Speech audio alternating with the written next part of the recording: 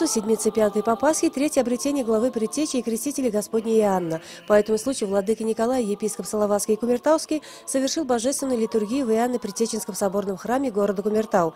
По преданию Иоанн Предтеча закончил свою жизнь мученической смертью. Его имя носит соборный храм нашего города.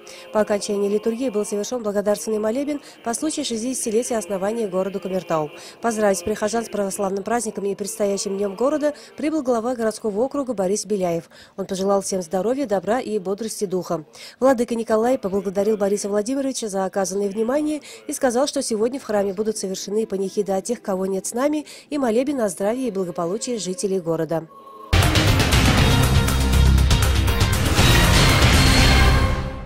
Ко дню рождения города предприятие «Жилкомсервис» провело в Кумертау городской конкурс среди многоквартирных домов под названием «Мой дом, моя крепость», а также конкурс названия «Лучший председателя Совета дома».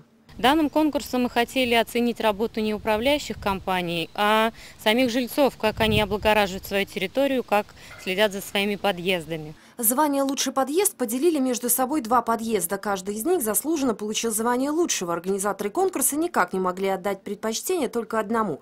Это подъезд жилого дома номер 31 по улице Шахтостроительной. В подъезде светло, уютно, чисто. На подоконниках стоят цветы, а стены расписаны разноцветными цветами, которые, конечно, радуют глаз. Даже маленькие дети, вот 4-5 э, лет, 9 э, лет выходили и предлагали свою помощь. И подметали здесь, и помогали мне трафаретики вот эти держать руками, чтобы мне легче было а, выполнять работу. И, конечно же, учились, уже просят, чтобы я их научила именно вот так вот делать Э, трафареты и с помощью трафаретов составлять вот композиции. Еще один подъезд, который теперь носит высокое звание лучшего, пятый подъезд по улице Искужина 3. Старшая по подъезду Екатерина Шарипова взяла инициативу в свои руки, украсила все стены подъезда от первого до пятого этажа вот такими фотографиями, которые делает сама, причем еще и за свой счет. На первом этаже располагается такая выставка детских рисунков, которая каждому празднику пополняется новыми репродукциями. Хотелось бы сказать э, большое спасибо все-таки своим соседям. Э, они участие принимают э, все-таки в оформлении и сохраняют чистоту в подъезде.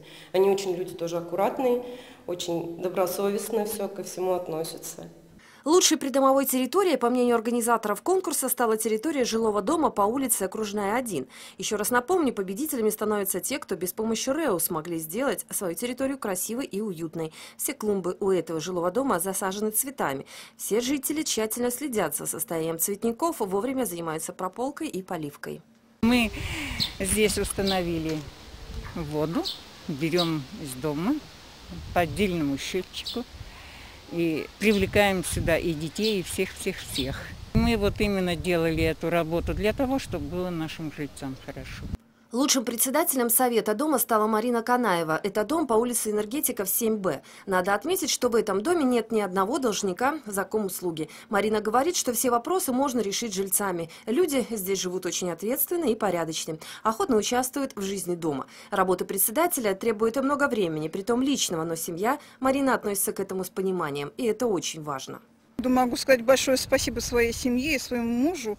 Вот неурочные звонки, неурочные вот эти вот приходы домой. Э, Все-таки, когда есть поддержка в семье, это тоже большое значение имеет.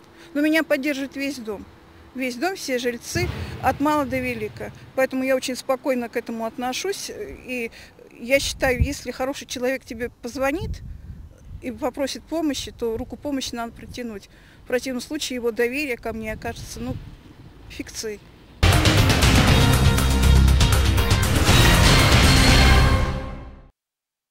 В Центральной городской больнице завершается конкурс «Мой любимый врач».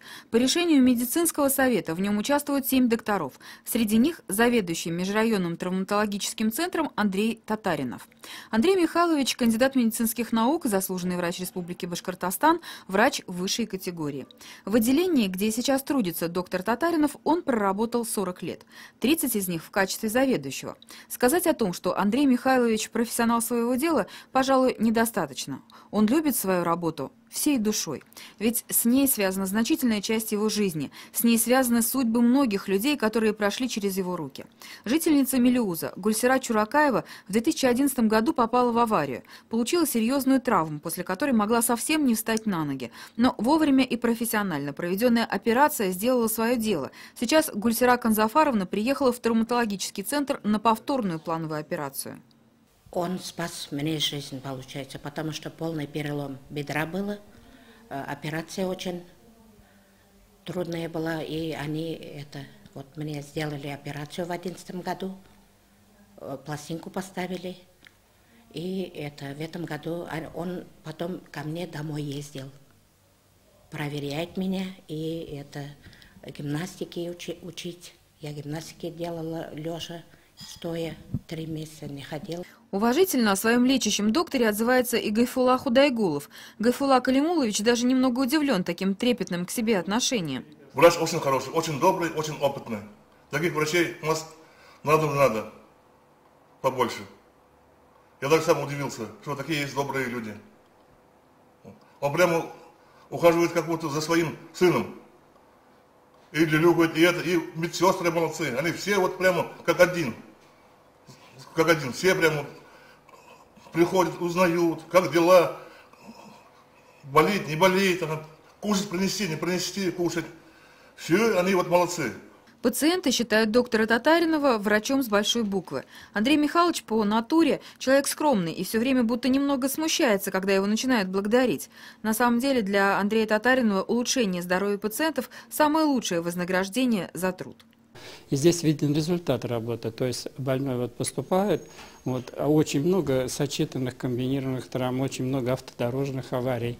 И поступает больной, и так приятно видеть, что, в общем-то, проходит какое-то время, он постепенно оживает, поднимается, начинает передвигаться, это так э, видеть, что действительный результат своей работы, это, кажется, вот больше всего видим в травматологии, что это результат работы, больной поднялся.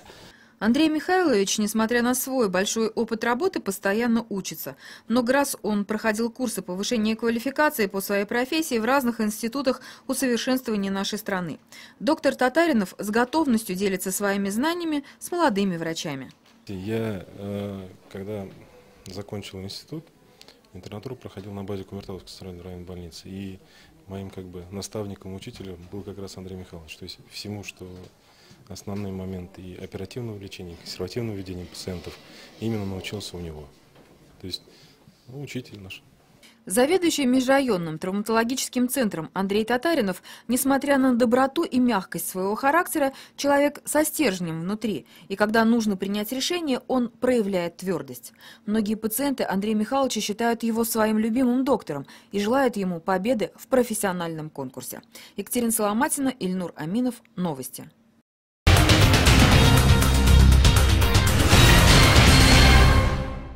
Thank you.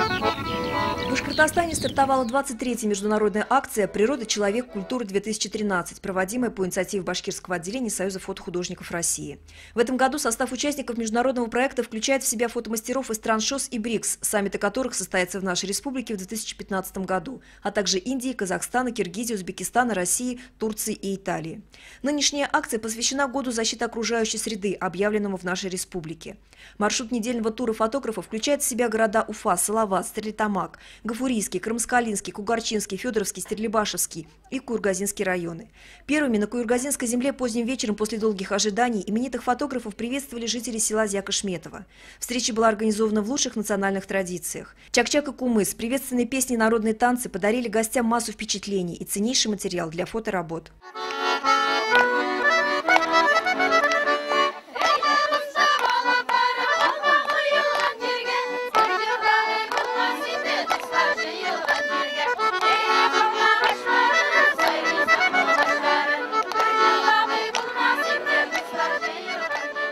Знакомство с Куюргазинским районом продолжилось на следующий день. В программе поездки было посещение памятников и исторических мест села Ермолаева, знакомство с творческими коллективами «Сударушка» и «Сеспель», экскурсии на пастбище ООО «Забарив Агро» и села Калтаева. Также гости имели возможность понаблюдать за подготовкой к районному Савантую и, конечно, впечатлиться природными красотами. По словам фотографа из Китая Го Сианин, обстановка и дружелюбие куюргазинцев очень напоминают ей родину.